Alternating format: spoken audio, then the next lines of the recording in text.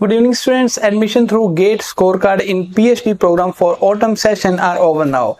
At the beginning of this month, in the month of October, several IITs have again released PhD application forms for all the candidates, including the students interested in doing PhD in English literature from IITs. In the month of November, almost all the IITs will release the shortlisted candidates, or you can say they will release the results of the students who are getting admission into IIT. And I think that IIT Bhubaneswar has already released the list of candidates who are selected for PhD four students are selected in that uh, IIT PhD program in IIT Bhubaneswar. IIT Indore has also released the seats for PhD in English literature just a few weeks ago, but the date to apply the application form for IIT Indore is also uh, now closed. Most of the students are unaware that IIT release the seats twice a year, spring admission and autumn admission two sessions spring season and autumn season but not so many students are aware of it that's why I again suggest you to try to find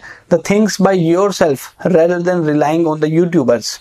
Do your research work, keep on visiting the official websites of IITs and apply the form also. You will surely get the seat as not so many students are aware about these IIT admissions program. And talking about the admission in MA program at IIT Madras, in 2023 we are going to see admission intake of IIT Madras. Earlier IIT Madras has its 5-year integrated program. After 12th standard, after completing your, you can say 12th standard, there is 5-year integrated program for MA English students.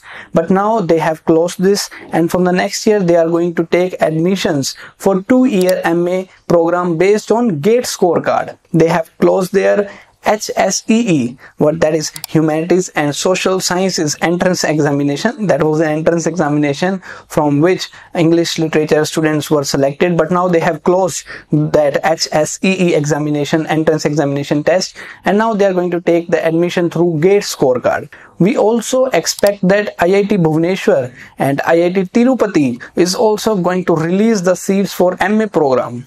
So still three months are there to prepare for GATE English Literature examination. And you can prepare for GATE examination with our smart study material. You can visit limitlessliterature.com and uh, you can also subscribe to this channel for more such updates on English literature. I hope you found the video worth your time. That's it for this video. Thank you.